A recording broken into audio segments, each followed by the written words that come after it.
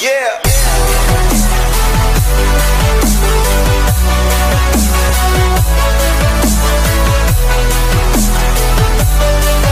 Hey guys, it's Attacker72 here, and for today, we are gonna sub some recent Sonic the Hedgehog news for today's video. So for today's topic, this year, we've gotten a lot of big things happening for the Sonic the Hedgehog franchise. This was definitely one of the biggest years for Sonic yet, and even though the 30th anniversary has gone by, Sega still has way more plans for the future as they just announced their latest project called Project Sonic 22, or just simply called Project Sonic 2022, of some sort, where they list out the plans and especially more things happening for Sonic the Hedgehog this year. And so with that, let's not waste time, let's get straight into it.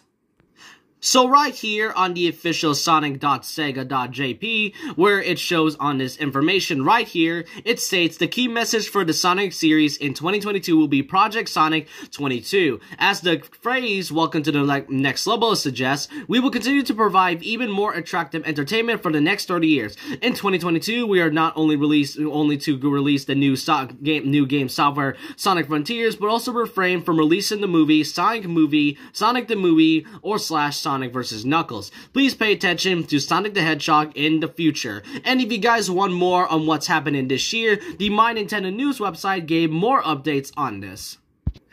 So here are the things for Sonic the Hedgehog 2022 that'll be happening. We've got ourselves Sonic Frontiers, the game that'll be coming out this winter, and I'm sure Sega and, and Team Sonic will give us more information of this game very soon in the future. Sonic Origins, which is a compilation of four classic games, which includes Sonic 1, 2, 3, and Knuckles, and CD, which I think they have CD in there from what I've remembered. There's also Sonic the Hedgehog Movie 2, which is supposed to be this April 8th, 20 2022, which I am very excited to watch this watch very soon. And then there's also more details for the for the Netflix series Sonic Prime. You know, I'm not gonna lie, I really forgot about this thing existing. Like, yeah, they did like they did leak it back at around 2020 from what I remembered, and then they decided not to show it off again. And then when they announced it, I think it was definitely a cool thing. And then later on, they didn't really show much aside from I guess the title, and that's about it.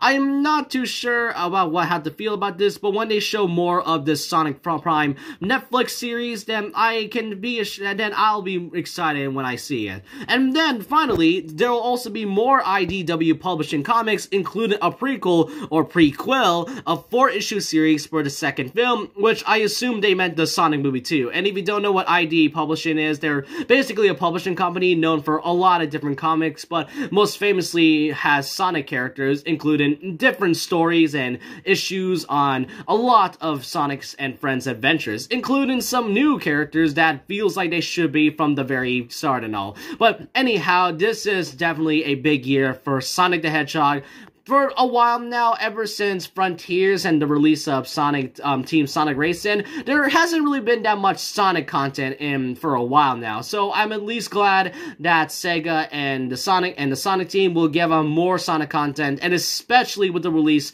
of the movie and the game, this is a huge year for the franchise. But I want to know what you guys think of Project Sonic 22. Are you all excited for all these upcoming releases? I want I want to know all your opinions down below. And so with that leave a like, comment, subscribe, hit the notification bell for more videos, and if you guys do not want to subscribe, then that's fine by me. Then, uh, follow my Twitter, and I'll see you guys next time, and remember this, once a legend, always a legend.